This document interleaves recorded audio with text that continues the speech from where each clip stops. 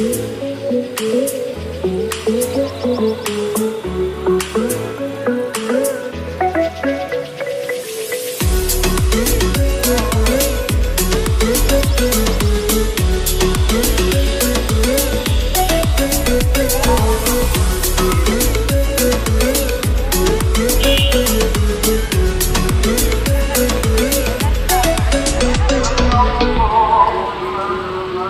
Rencana penutupan Anjungan Pantai Losari ini sesuai dengan arahan dal- dalam surat edaran Wali Kota nomor 443 kos, titik 01 garing 669 garing surat edar garing Kesbangpol garing angka Romawi 12 angka dan tahun 2021 itu tentang pencegahan dan penyebaran COVID-19.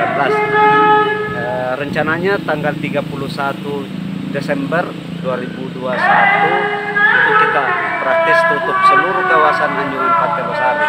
Jadi sebenarnya dalam surat edaran itu bukan cuma Anjungan Pantai Losari yang diperintahkan ditutup, tapi semua alun-alun atau yang berpotensi dijadikan tempat berkerumun secara masif oleh masyarakat umum itu diperintahkan untuk dijaga dan ditutup. Eh, tujuannya jelas.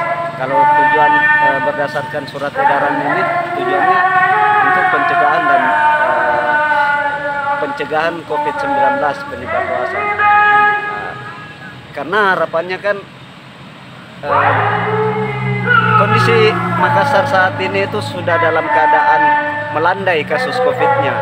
Yang kita takutkan jika kita terjadi pembiaran maka akan muncul kembali kasus-kasus ledakan baru terkait ini.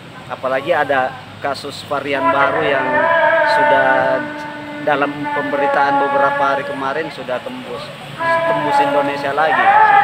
Pak, eh, ini kan ada beberapa gerbang masuk. Ini ke seluruh, keseluruhan ditutup begitu Pak ya? Ya, insya Allah seluruh gerbang eh, bukan gerbang sih Pintu akses masuk, masuk eh, Anjungan Pantai Losari ini akan kita tutup dan eh, tetap kita berikan spanduk untuk eh, pengumuman ke masyarakat biar masyarakat tahu bahwa eh, kondisi Anjungan saat ini tanggal 3 per tanggal 31 sampai 1 Januari 2022 itu ditutup. Berarti eh, satu hari setelah tahun baru eh, dibuka kembali begitu? Ah. Sesuai surat edaran sampai tanggal 1. Hmm.